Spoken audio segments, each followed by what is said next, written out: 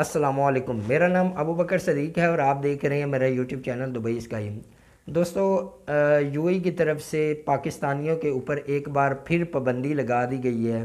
तो ये पाबंदी कुछ शहरों के ऊपर लगाई गई है। तो उन शहरों के नेम जो है वो मैं आपको वन बाई वन बता देता हूँ। अगर आप इनमें से किसी के किसी सिटी में से भी हैं तो आपने अपना वीज़ा जो है बिल्कुल अप्लाई नहीं करना। अदरवाइज़ आपकी फ़ीस जो है वो वेस्ट चली जाएगी और आपका वीज़ा जो है वो रिजेक्ट कर दिया जाएगा।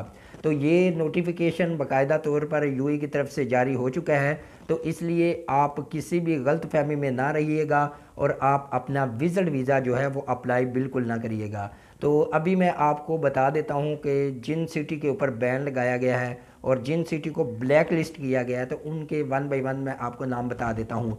इसमें जो है एबटाबाद है, डेरा गाजी ख़ान है, कोयटा है, खुशहाब है, मुजफ्फ़रगढ़ है, सरगोदा है, अटक है, डेरा इस्माइल ख़ान है, कसूर है, कुरम एजेंसी है, नवाब शाह है, शेखपुरा है, बाजोड़ एजेंसी है, हंगू है, कोहाट है, लाड़काना है, पारा चिनार है, सकरदू है, चकवाल है, हंज है कोटली है महमद एजेंसी है, साहिवाल और सक्कर है। इनमें से अगर आप किसी भी सिटी से ताल्लक़ रखते हैं और आप अपना विज़ट वीज़ा अप्लाई करना चाहते हैं तो अभी आप बिल्कुल अप्लाई ना करें, क्योंकि यूएई की तरफ़ से एक नोटिफिकेशन जारी किया गया है।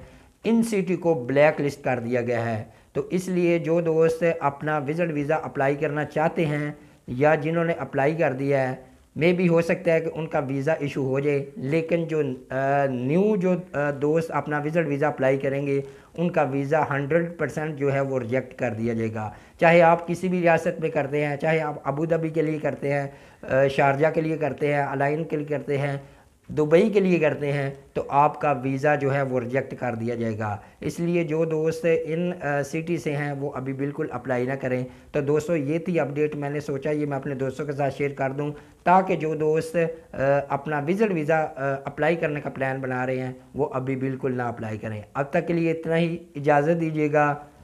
अल्लाह हाफिज़।